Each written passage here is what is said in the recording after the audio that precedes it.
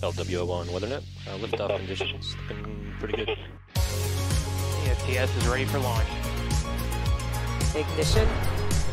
Liftoff. Falcon 9 has cleared the tower.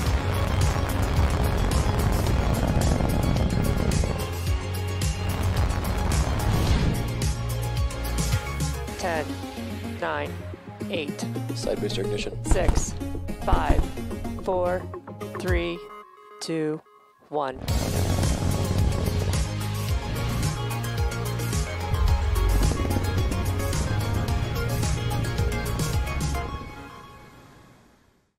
Ten, nine, eight, seven, six, five, four, three, two, one, zero. Ignition and liftoff. Go Falcon, go GPS.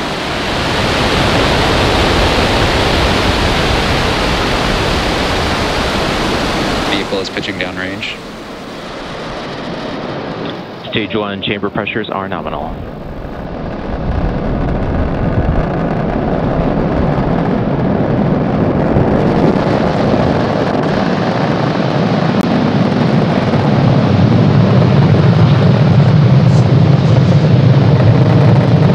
T plus, T plus 36 seconds.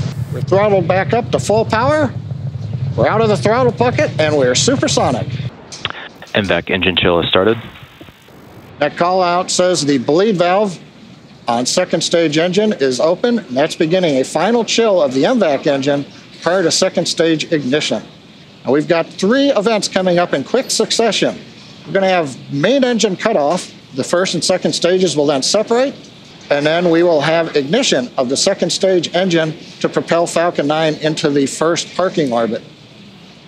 The atmospheric density is decreasing, and that's resulting Max on less Q. loads on the Falcon 9.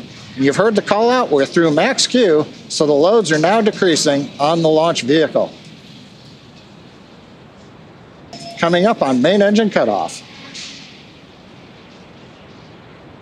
MECO. Stage separation confirmed.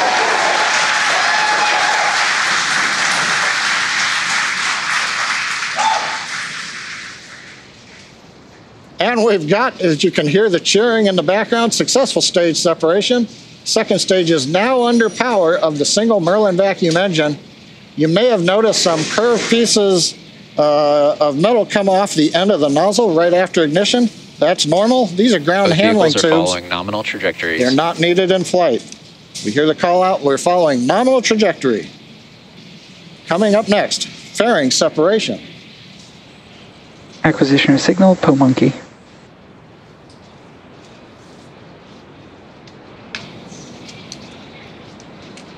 Fairing separation confirmed.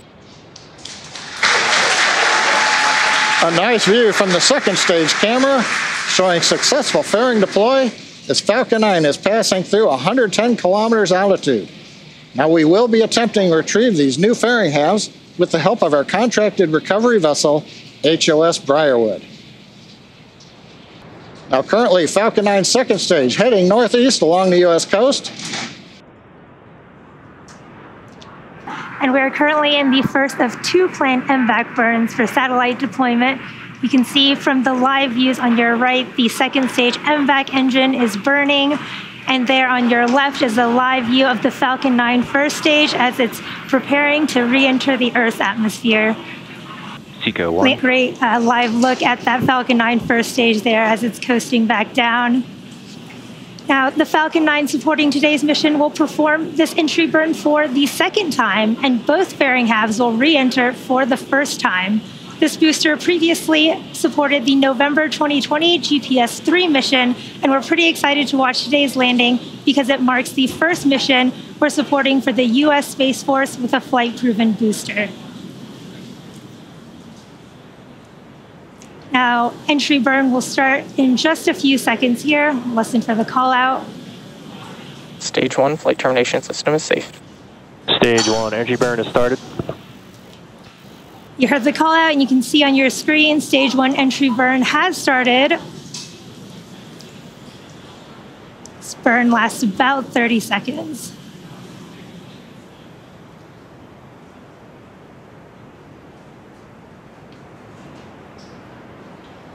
Stage 1 entry burn shutdown. We did have a successful stage one entry burn there. And now while Falcon 9 Both makes vehicles continue to follow nominal trajectories.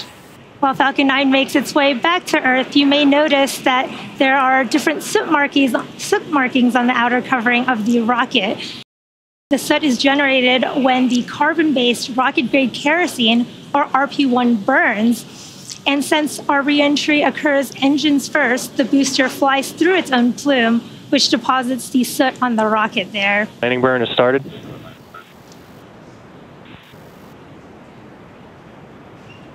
can see that stage one entry burn, landing burn.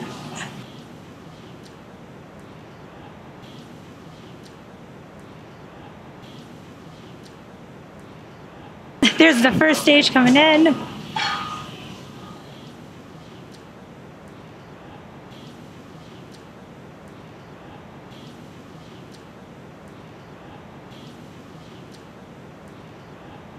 Landing legs are deployed. Nominal parking orbit.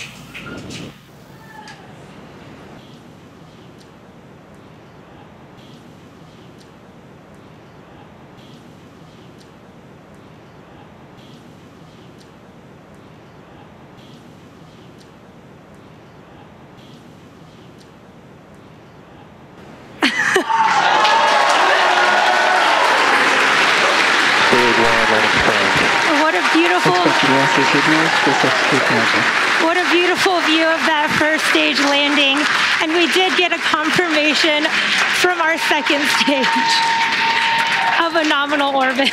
You can hear the cheering in the background. Everyone's really excited. Second stage is now embarking on its first coast phase. Coasting in this orbit will last about 53 minutes, and then we'll relight that MVAC engine for a second time shortly after at T plus one hour and two minutes. We'll see you back here Acquisition at signal Newfoundland. one hour and three minutes. Welcome back to the webcast of the Falcon 9 mission carrying GPS 3 space vehicle number 5. We're approaching the second burn of the MVAC engine, and that will carry Falcon 9 and GPS to the orbit needed to deploy the satellite.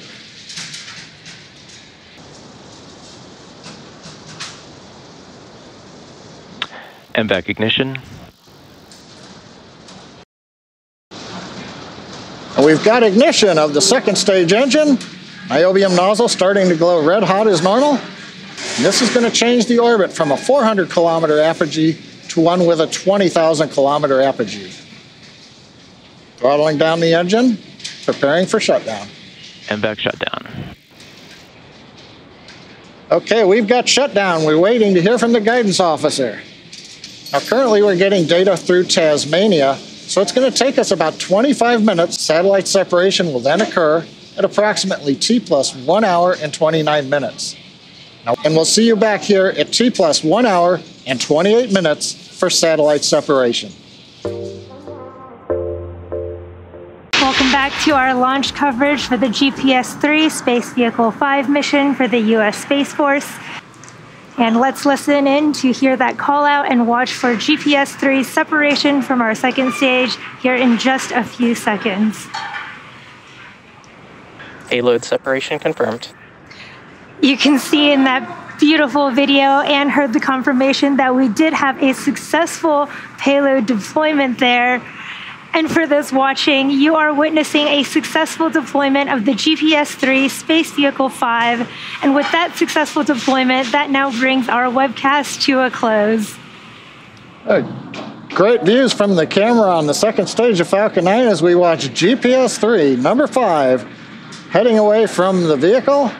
It's on its way to do its mission. I'd like to thank you.